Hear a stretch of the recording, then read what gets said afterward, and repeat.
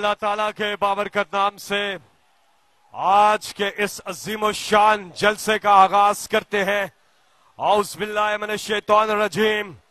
बिस्मिल्लाहमान रहीम अलहमदुल्ला रबिल आलमीन। अर्रहमान रहीम मालिक योमद्दीन।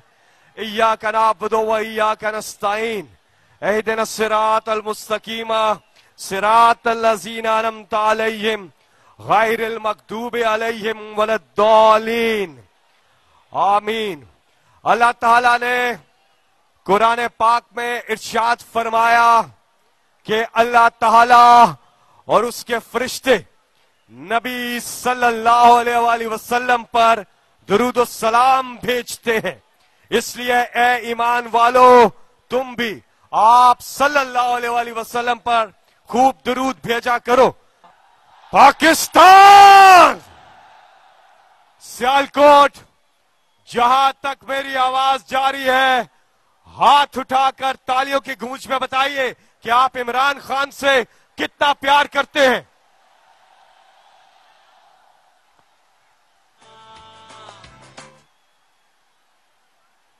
नाराय तकबीर!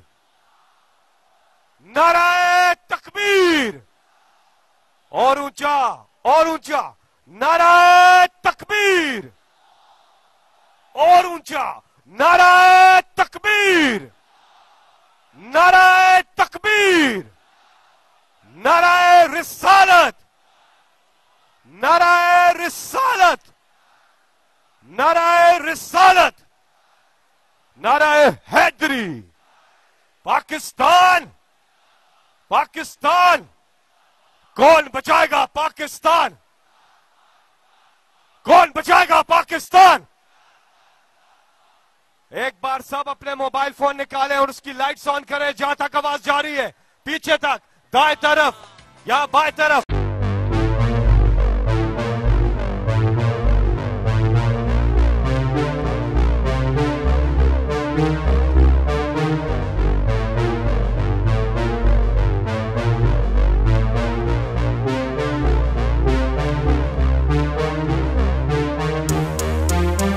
सियालकोट, अब से पाँच मिनट के बाद कप्तान का है खिताब।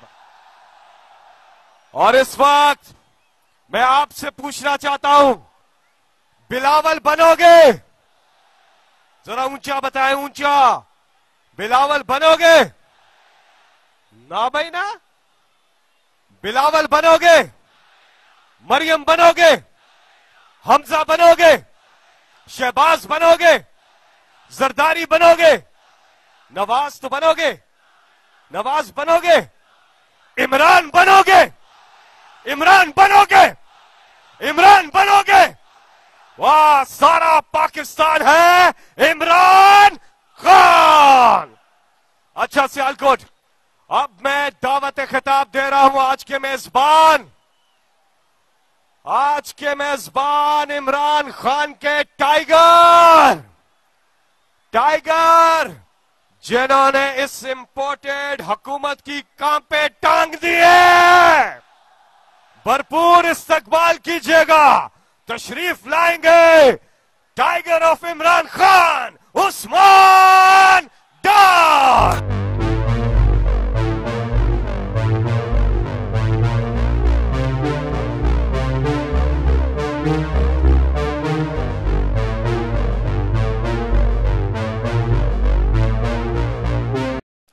शहर सियालकोट के अजीम लोगों।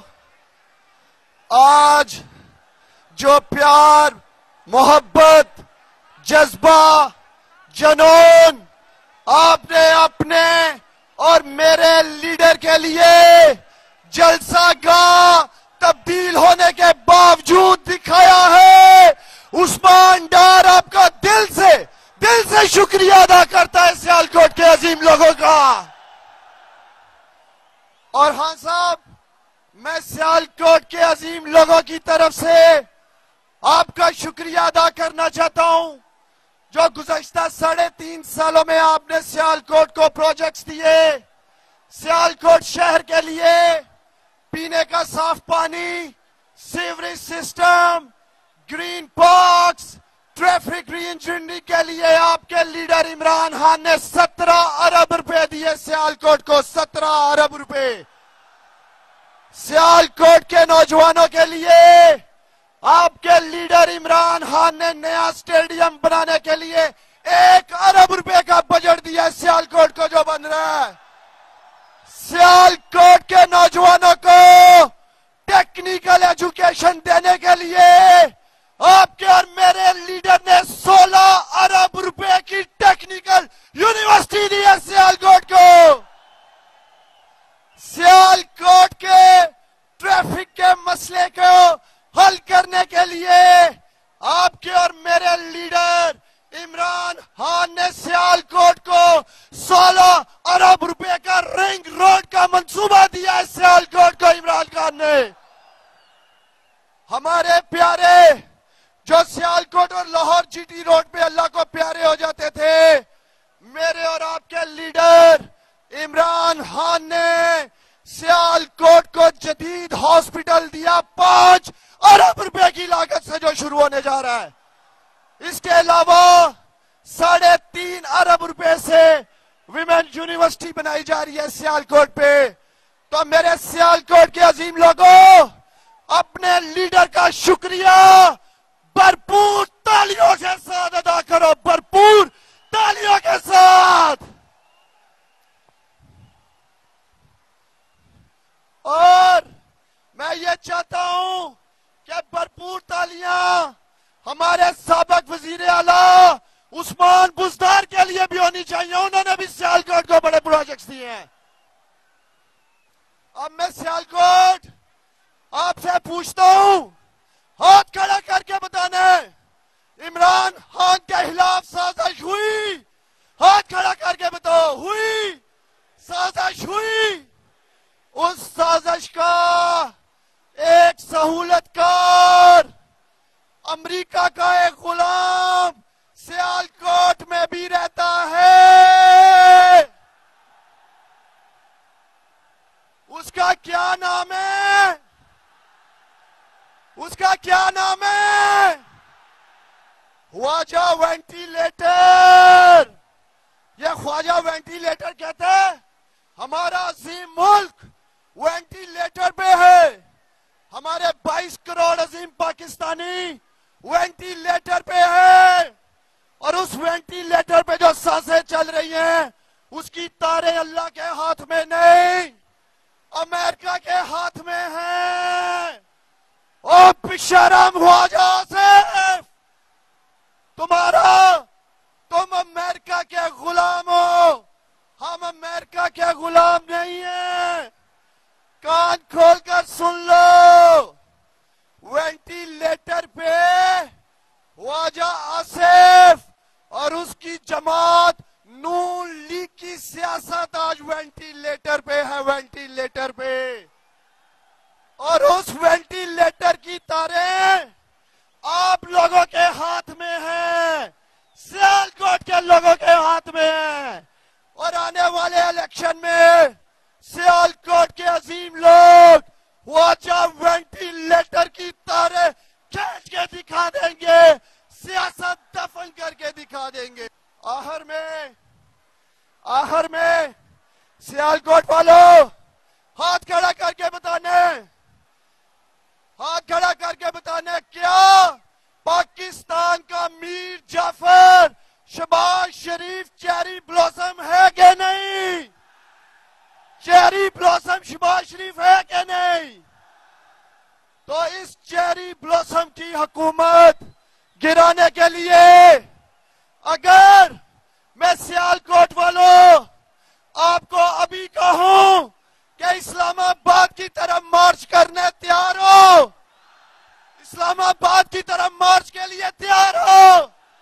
हाथ खड़ा करके कप्तान को बताओ, तैयार हो? कप्तान के लिए लड़ोगे? कप्तान के लिए निकलोगे? कप्तान के लिए मरोगे? पाकिस्तान जिंदाबाद। और आप सबको इंतज़ार है कप्तान के खिताब का। तैयार हो सियालकोट।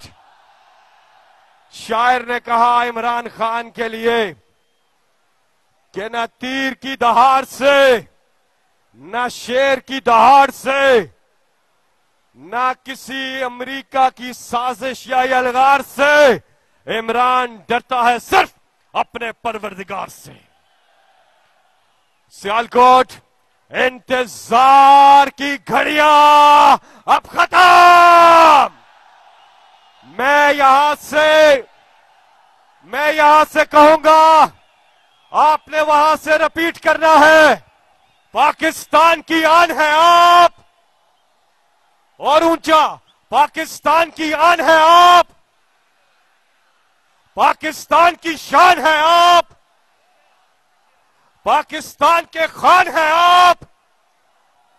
बिस्मिल्लाह रहमान रहीम।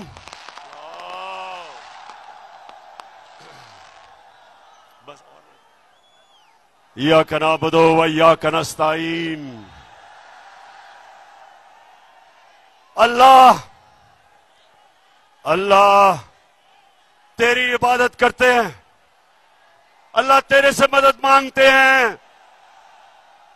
किसी इंसान के सामने हम अपना सर नहीं झुकाते और किसी सुपर पावर के सामने हम नहीं झुकते। हम मोहम्मद सल्लल्लाहु अलैहि वसल्लम के उम्मत, हम उसके उम्मत से हैं। हम दुनिया की सबसे अजीम लीडर हम उसकी उम्मत से हैं। हम किसी के सामने नहीं झुकते। और सियालकोट सियालकोट, मैं सबसे पहले तो ये जो आज हरकत की नवाज़ शरीफ की नून लीग ने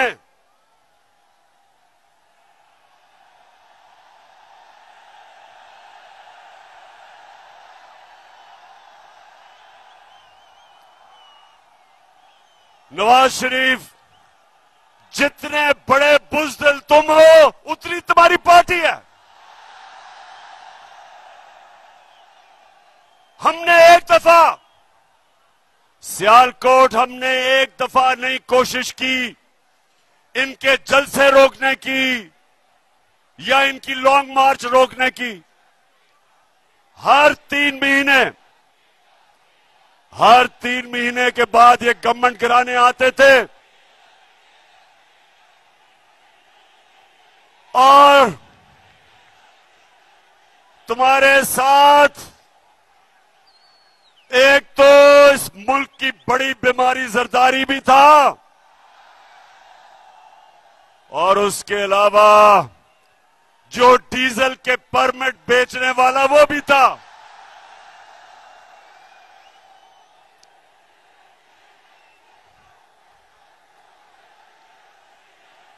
सियालकोट, पहले तो मैं आपके जुनून को सलाम करता हूँ।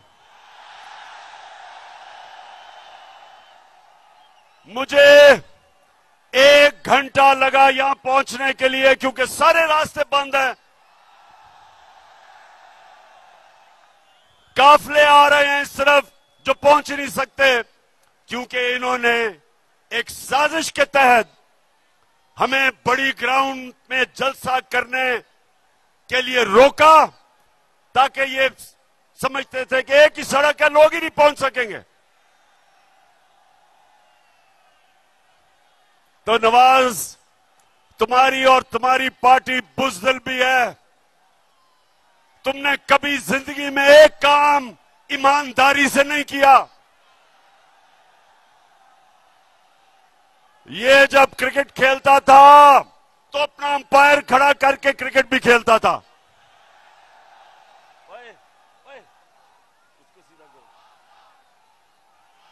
ये वो आदमी है ना इसने बिज़नेस ईमानदारी से की ना ये इलेक्शन ईमानदारी से लड़ता है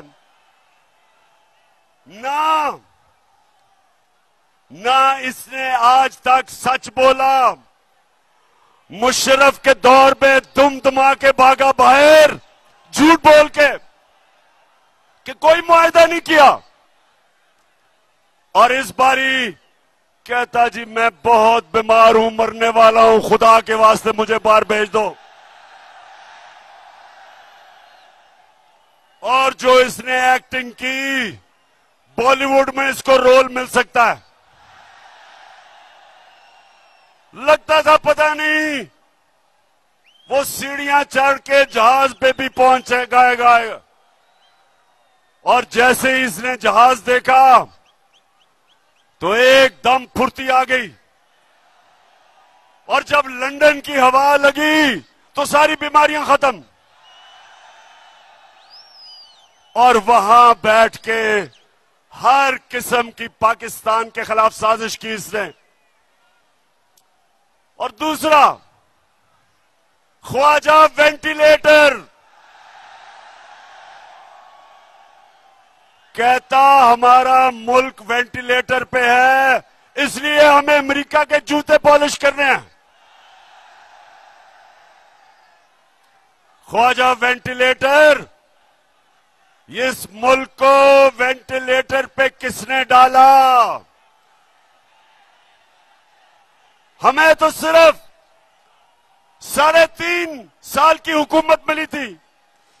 तुम दोनों खानदान शरीफों के और जरदारियों के तीस साल तुमने इस मुल्क पे हुकूमत की है। वेंटिलेटर पे तो तुमने मुल्क को लूट लूट के पैसा बाहर ले जाके आज हमारे मुल्क को मकरूज किया। और फिर तुम्हारा जो तुम्हारा जो cherry blossom boot polish, Shahbaz Sharif, वो कहता है कि बेगर्स आर नॉट चूजर्स मतलब कि क्योंकि हम बेकारी हैं, हमें गुलामी करनी पड़ेगी अमेरिका की। सियालकोट के लोगों मुझे ये बताओ कि क्या आपको अमेरिका की गुलामी कबूल है? आप सबको और मेरे पाकिस्तानियों को इसलिए ना अमरीका, ना किसी की गुलामी कबूल इसलिए नहीं, क्योंकि हम मोहम्मद सल्लल्लाहु अलैहि वसल्लम के उम्मती हैं। हम अल्लाह के सिवा, हमारा तो हमारा तो दावा है कि ला इलाहा अल्लाह तेरे सिवा किसी के सामने नहीं हम झुकते और जब मुसलमान नौजवानों किसी के सामने झुकता है तो वो सबसे बड़ा शिरक समझा जाता है इस्लाम में। हमें ला ला गैरत देता है। हमें गैरतमंद कौम है हम इन चोरों डाकों की तरह किसी की गुलामी कबूल नहीं करते। जरा अपना ध्यान रखना, गिरना पड़ना वहाँ से। अच्छा सियालकोट। सियालकोट, इन्होंने कोशिश की आपको रोकने के लिए। नवाज़ शरीफ, तुम और थ्री स्टूडेंट सुन लो। मेरी आज गौर से बात सुन लो। आज तक दुनिया की तारीख में कभी कोई इनकलाब को नहीं रोक सका। ये सियासत नहीं हो रही, ये इनकलाब आ रहा है। कौम आज तहरीक पाकिस्तान के बाद दूसरी आज़ादी की तहरीक के लिए तैयार है। अपनी हकीकी आज़ादी के लिए कौम बाहर निकल रही है। और इसको ना तुम रोक सकते हो गीदड़ नवाज़ लंदन में बैठ के, ना ये तुम्हारा बूट पॉलिश करने वाला मुजरिम भाई रोक सकता है, ना उसका करप्ट बेटा रोक सकता है। और ना वो 18 कत्ल करने वाला इंटीरियर मिनिस्टर रोक सकता है। इसको कोई ताकत नहीं रोक सकती। और आज गौर से सुन लो, हम हमेशा, मेरी जमात ने हमेशा पुरमन एहतजाज किया है। इंशाल्लाह जब हम इस्लामाबाद पहुँचेंगे, हम पुरमन रहेंगे। लेकिन ये गौर से सुन लो कि अगर तुमने जो आज हरकत की है, अगर तुम ये हरकत करोगे और इंतज़ार फैलाने की कोशिश करोगे तो तुम्हें किसी को छुपने की जगह नहीं मिलेगी पाकिस्तान में। मैं आज अब सियालकोट के लोगों जरा गौर से मेरी बात सुनना, आराम से। आराम से पहले बात सुना मेरी। बड़ी अहम बात करने लगा हूँ। खामोशी से सुने। मेरे खिलाफ बंद कमरों के अंदर, मुल्क से बाहर और मुल्क के अंदर एक साजिश हो रही है। और वो साजिश ये है कि वो चाहते हैं कि इमरान खान की जान ले ली जाए।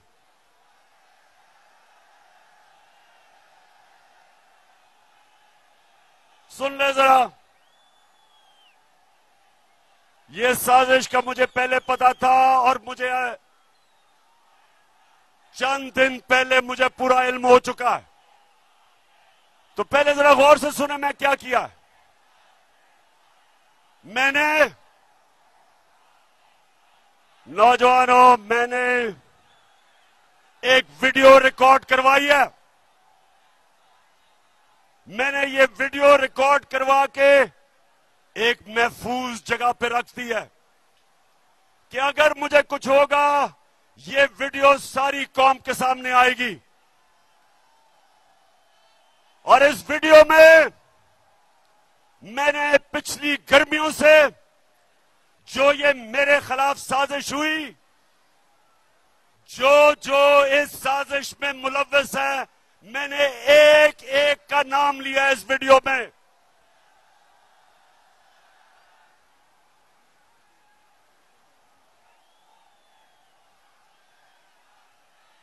देखिए, फिर से सुन लें और चुप करके सुने। मैं आपके सामने अहम बात कर रहा हूँ। मैंने वीडियो रिकॉर्ड करवाई है। साजिश है। और साजिश ये है कि उन्होंने समझा है कि ये इमरान खान हमारे रास्ते में रुकावट है और इसको हटाना चाहिए। मुझे मारने की साजिश है। और इसलिए मैंने ये वीडियो रिकॉर्ड करवाई है।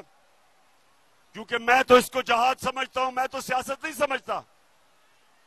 मैं तो अपने अल्लाह के लिए लड़ रहा हूँ।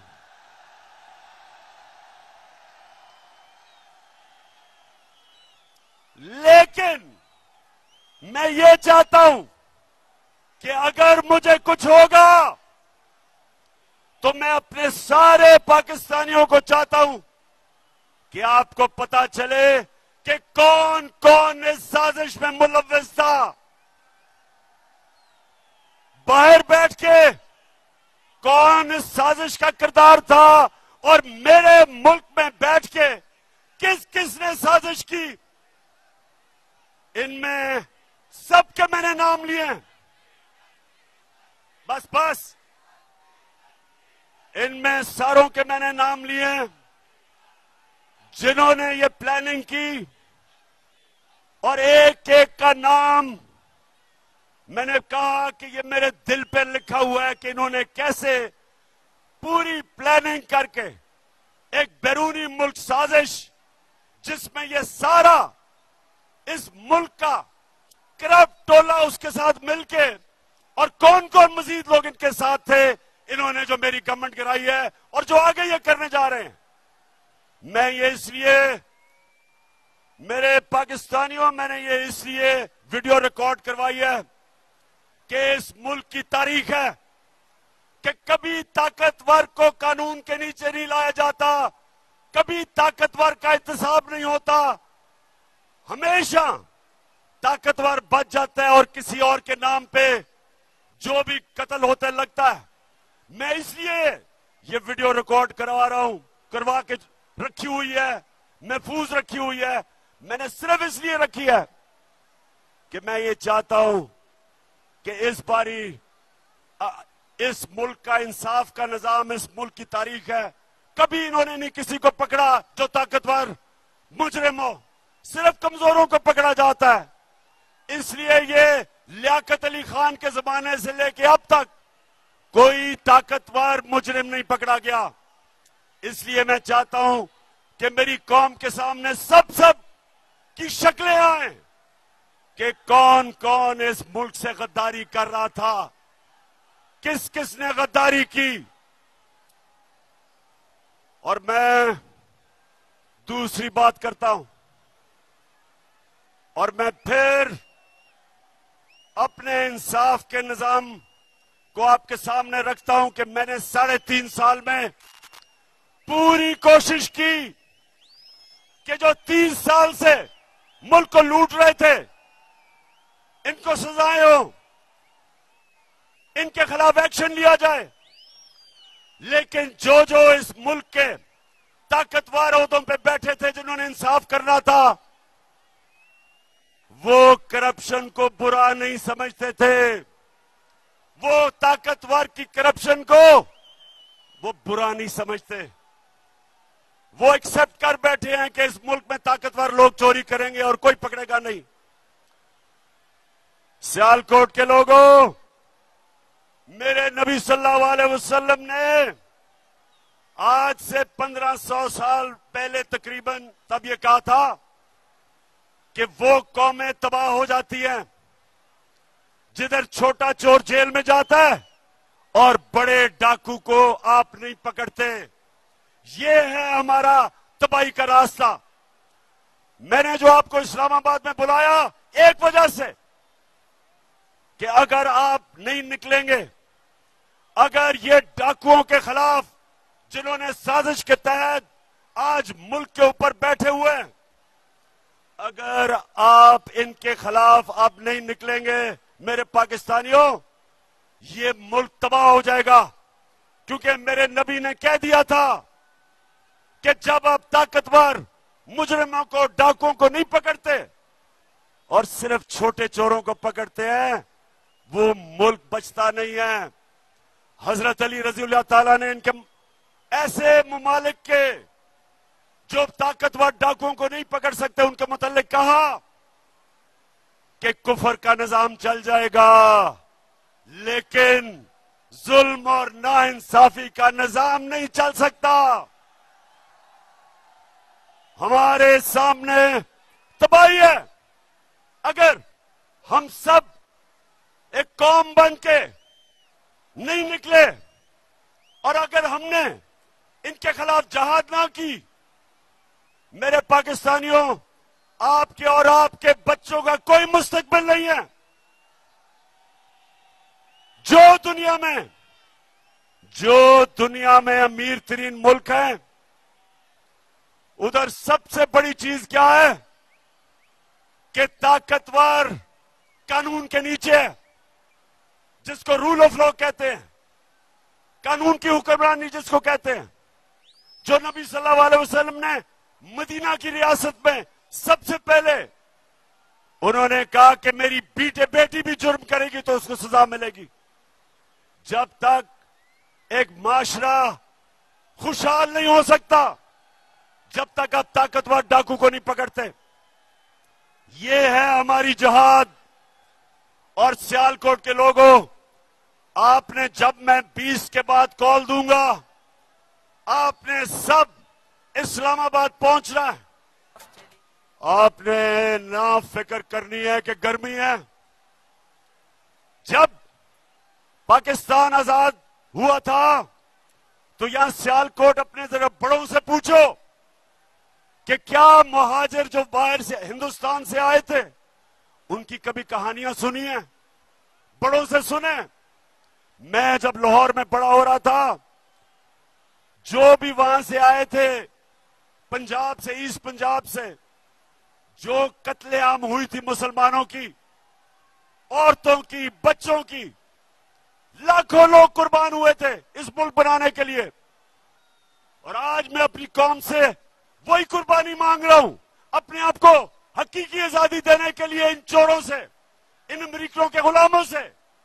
आपने ना गर्मी देखनी है, ना आपने देखना है कि रास्ते में रुकावटें हैं, ना कंटेनर देखना है। नौजवानों, आपका जुनून इन सारे कंटेनर्स और जो भी रुकावटें इसको बहा के ले जाएगा। मैं अपने नौजवानों से खास तौर पे आज कह रहा हूँ कि तैयारी करें। इन्होंने दो दिन पहले ट्रांसपोर्ट बंद कर देनी है। इन्होंने पेट्रोल बंद कर देना है। इन्होंने इंटरनेट बंद कर देनी है। उससे उससे पहले तैयारी करें। और ये देखेंगे, इंशाल्लाह, तैयार हो जाओ। चेरी ब्लॉसम तैयार हो जाओ। ख्वाजा वेंटिलेटर तैयार हो जाओ।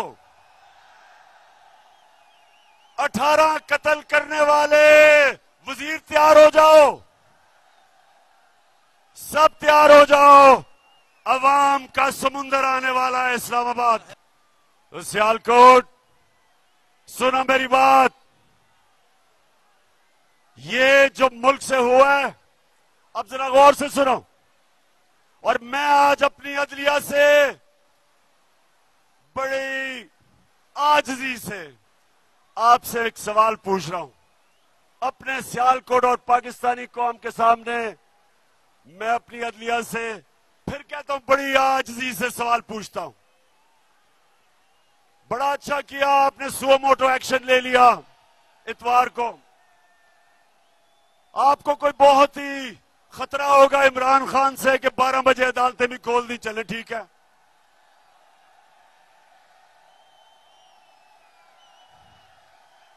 बहुत खतरनाक हूँ मैं। बहुत ही बड़ा मैं कोई मुल्क से गद्दारी करने जा रहा था कि रात के 12 बजे अदालतें खोल दी। तो मैं आज जी से अपनी अदलिया से पूछता हूँ और बड़ा मासूमाना सा सवाल है कि शबाज शरीफ, इसका बेटा हमजा शरीफ और जो मफरूर बेटा हुआ है सलमान शबाज 24 अरब रुपए के इनके ऊपर एफआईए के केसेस हैं। सुने जरा सियालकोट 24 अरब रुपए के केसेस हैं। प्राइम मिनिस्टर पे, चीफ मिनिस्टर पे और जो भाई भगौड़ा हो चुका है 24 अरब रुपए का मतलब 24 अरब रुपए का मतलब कि 2,400 करोड़ रुपए के इनके ऊपर करप्शन के केसेस हैं। अब मैं ये सवाल पूछता हूँ कि मुझे दुनिया में एक मुल्क बता दो कि एफआईए इन्वेस्टिगेट करके आपके ऊपर ये केसेस बनाती है।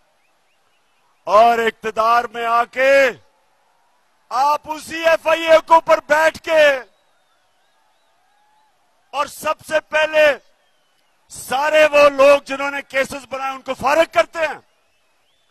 और फिर एक, और मैं सलाम करता हूँ डॉक्टर रिजवान आपको कि एक ज़बरदस्त एफआईए का ऑफिसर जिसने, जिसमें दिलेरी थी जो दलेर आदमी था।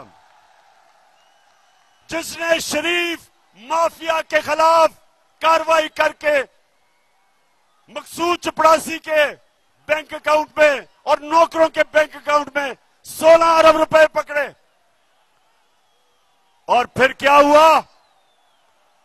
डॉक्टर रिजवान के ऊपर दबाव डाला गया। हमजा शरीफ ने उसको धमकियाँ दी। और वो डॉक्टर रिजवान शदीद दबाव में था और उसको हार्ट अटैक हुआ, मर गया। कल क्या हुआ? जो दूसरा ऑफिसर, ये शबाज शरीफ का एफआईए का केस इन्वेस्टिगेट कर रहा था, उसका नाम नदीम अख्तर था। उसको कल हार्ट अटैक हो गया। सियालकोट, उसको भी हार्ट अटैक हो गया कल। मैं ये सवाल पूछता हूँ कि ये कैसे है कि माफिया का जो इन्वेस्टिगेट करता है, उनके ऊपर किस तरह का दबाव है? किधर है मेरी अदालतें? आपका काम है इनकी हिफाजत करना। कौन आगे से इस मुल्क के कौन से सरकारी नौकर, कौन सी एफआईए, कौन सी एफबीआर, कौन से पुलिस ऑफिसर कभी भी आपके सामने खड़े होंगे? इस मुल्क के अदारे कैसे ताकतवर मुजरमों के सामने खड़े होंगे? पहले ही डरते थे। और आप जब फिर साजिश के तहत इन मुजरमों को ऊपर मुलवस कर दिया। तो आप मुझे सवाल पूछता हूँ अपनी अदिया से, कौन इस मुल्क के इदारों की हिफाजत करेगा?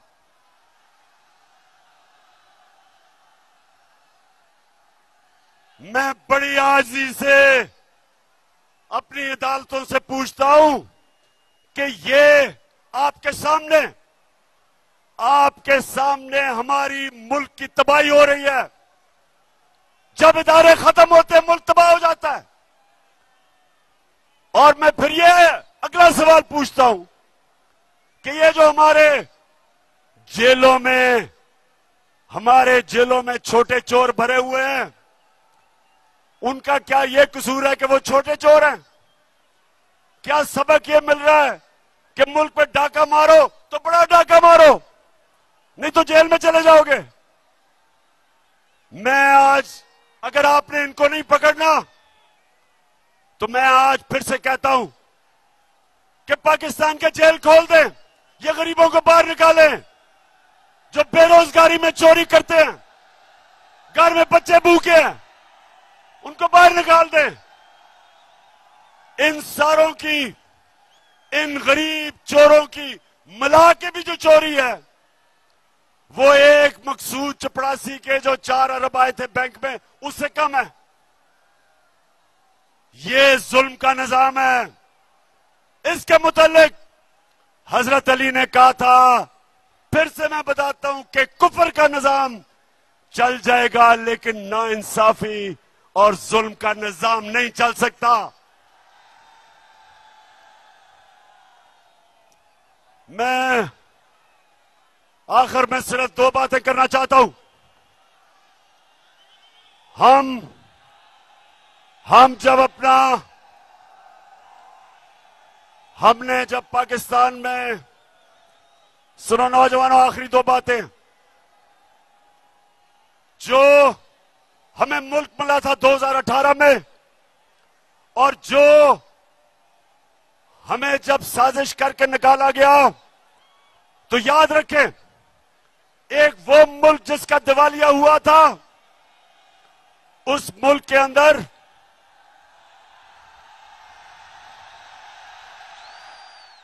अच्छा सियालकोट, अब सुने, जब हमारी हुकूमत गिराई गई तो अब जो, अब अदाद और शुमार आए हैं याद रखें कि पाकिस्तान की 2004 के बाद सबसे ज़्यादा सनती पैदावार हमारे दौर में हुई।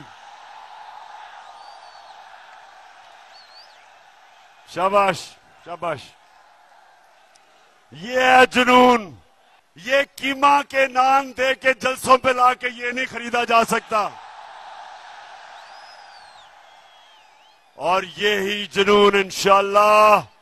इस्लामाबाद के अंदर वो इनकलाब लेके आएगा जो हमें हकीकी तौर पे आज़ाद करेगा।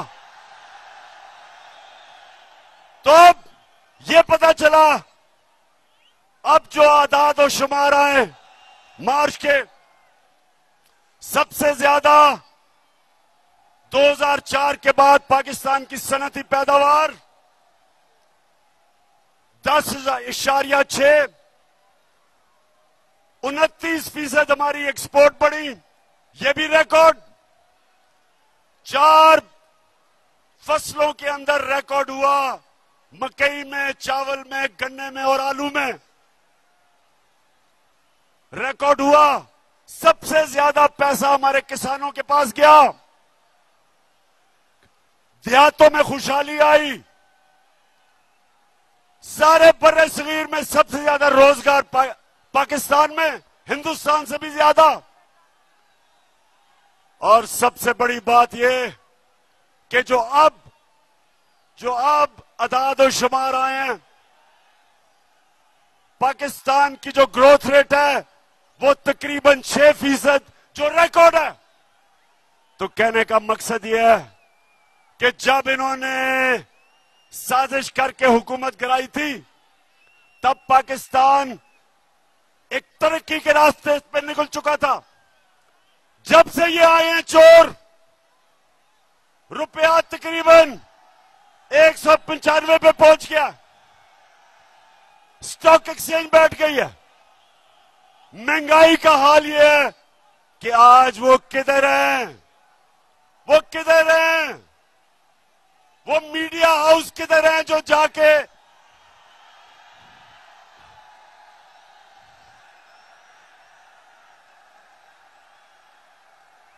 अब्बास, जो भी हो, गिरना पड़ना खुदा का वास्ता है।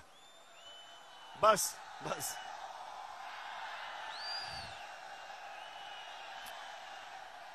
माशाल्लाह माशाल्लाह। इस्लामाबाद में सियालकोट की पूरी तैयारी है इस्लामाबाद के लिए।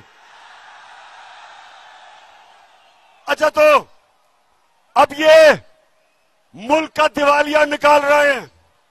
रुपया गिर रहा है। फॉरेन एक्सचेंज नीचे जा रहे हैं। अब ये क्या करेंगे? अमेरिका के पास जाएँगे और अमेरिका से भीख मांगेंगे कि हमें पैसे दो, हमें बचाओ।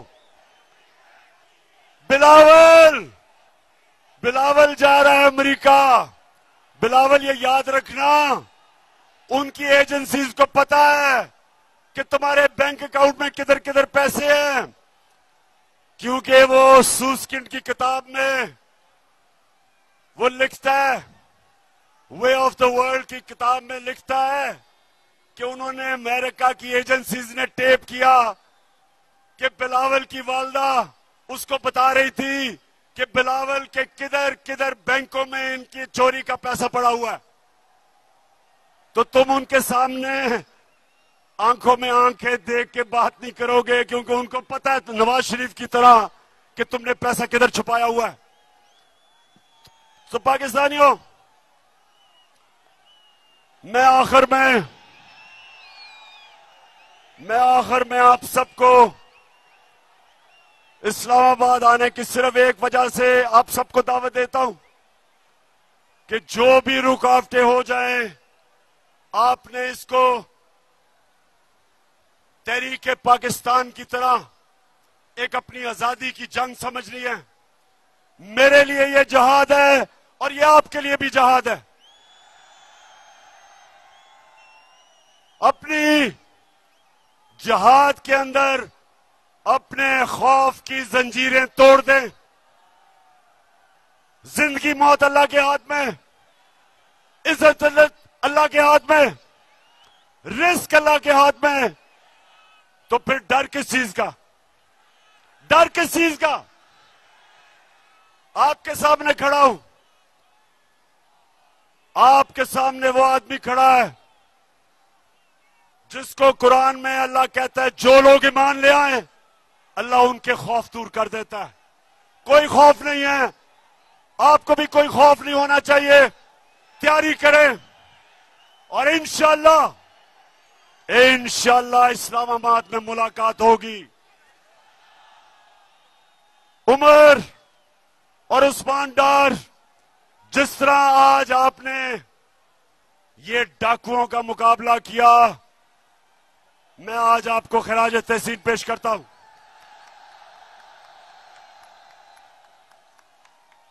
तुम्हारी माशाल्लाह अच्छी ट्रेनिंग की हुई हुई है। धरने में मैंने आपकी ट्रेनिंग करवाई है। हम ट्रेंड हैं, हम तैयार हैं। और इंशाल्लाह उस्मान डार आप जब नौजवानों को लेके इस्लामाबाद निकलेंगे तो याद रखें कि किसी किस्म की रुकावट से नहीं घबराना। क्योंकि आपका कप्तान किसी चीज़ से नहीं घबराता।